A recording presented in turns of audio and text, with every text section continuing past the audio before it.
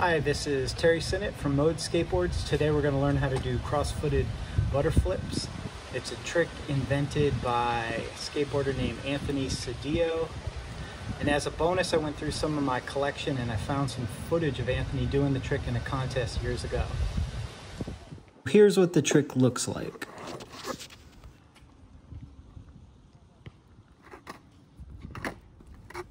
So you're going to start on the rail of the board. You're going to hook one leg behind the other, pop the end of the board up into a 50-50 truck stand. Hook that leg behind. This is the butter flip and a catch in a 50-50 truck stand. This is another view of the trick. One leg goes behind the other. You pop it up, catch it,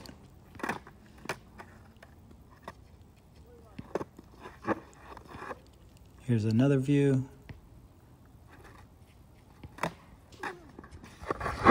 I learned this thing years ago from a sketch of all things.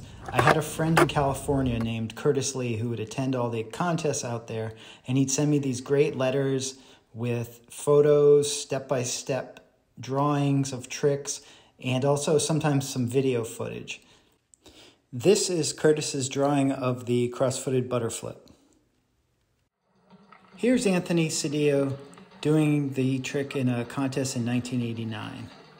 He lands the trick in a 50-50 truck stand, goes into a 50-50 spacewalk, salutes the judges, and carries on.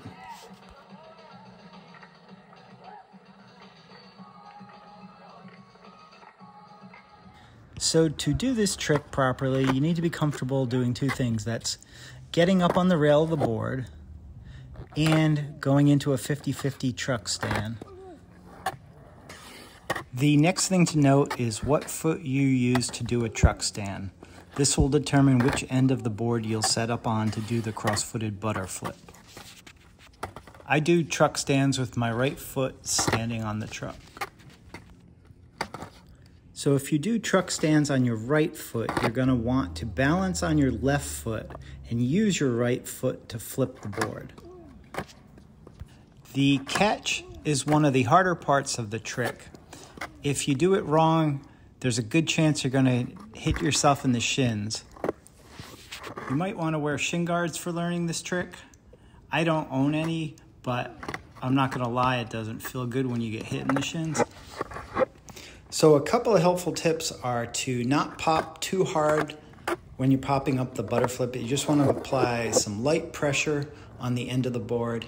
And the second thing is after you pop it is to turn your body inward just a little. This makes catching it in a 50-50 truck stand a little bit easier. Here are the key points broken down. Get comfortable standing on the rail and doing 50-50 truck stands. Determine what foot will be used to pop the butter flip. It will be the same foot used to balance on the truck in truck stands. And pop the butter flip lightly and turn your body slightly inward to catch the board in a truck stand.